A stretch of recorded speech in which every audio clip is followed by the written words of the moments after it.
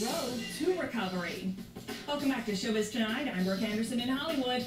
Right now, my Showbiz Tonight exclusive with Eminem. I just went one-on-one with Eminem at LA Staples Center right before he took the stage. He was there for Activision's E3 kickoff event.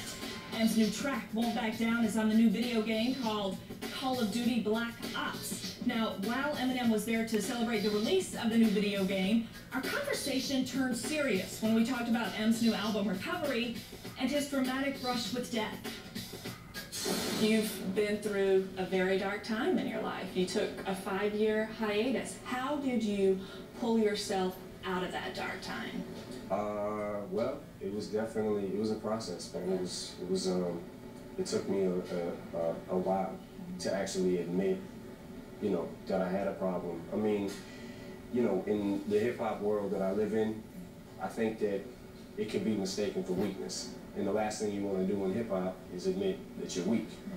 But if I didn't admit that I was weak with this certain thing, I was gonna die, you know. So. How close did you come? Um, I certainly probably a couple hours away from death. Not to make this too tense of a moment, but yeah, it uh, I overdosed and, and almost died. How did you mentally turn it around? Because like you say, you are a strong, tough, macho guy. How did you how did you do it?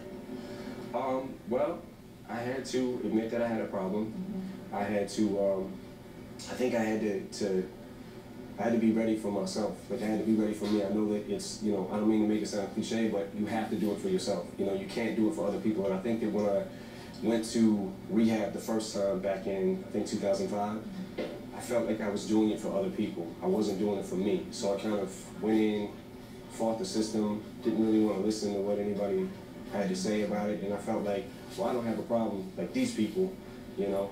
I, you know, I, I, I just take this because I just take these pills because I, I, I can't sleep. I have a sleeping problem. I just take, you know, Vicodin for recreation, you know, like, but. An I, excuse for yeah, everything. Definitely. And, you know, then I, I went through a, uh, a really rough period after I came home from rehab and, and I um, lost my best friend and kind of, uh, the reins were off. It was kind of just like, you know, screw it. This is like, you know, and it, from from there I really went downhill, and that's when I overdosed, got out the hospital, relapsed a short time after that. Basically, uh, scared myself and um, went to some people and was like, "Yo, I got a problem. I need help. I can't beat this on my own." Because the whole time I, was, I think I was thinking that I could, but I couldn't. Okay, I was absolutely blown away by Eminem's dramatic confessions and the fact that he is even alive today after what he went through. Right now in New York is Kathy Areu, who is the publisher of Catalina Magazine. Also right now in New York is Stephen Smith, who's a music and pop culture expert. Guys, I gotta tell you, when I was standing there talking to Eminem, it astounded me that this larger-than-life rap phenom actually admitted to weakness, and that admission ultimately saved his life. Stephen, are you uh, completely awestruck by Eminem's unbelievable story?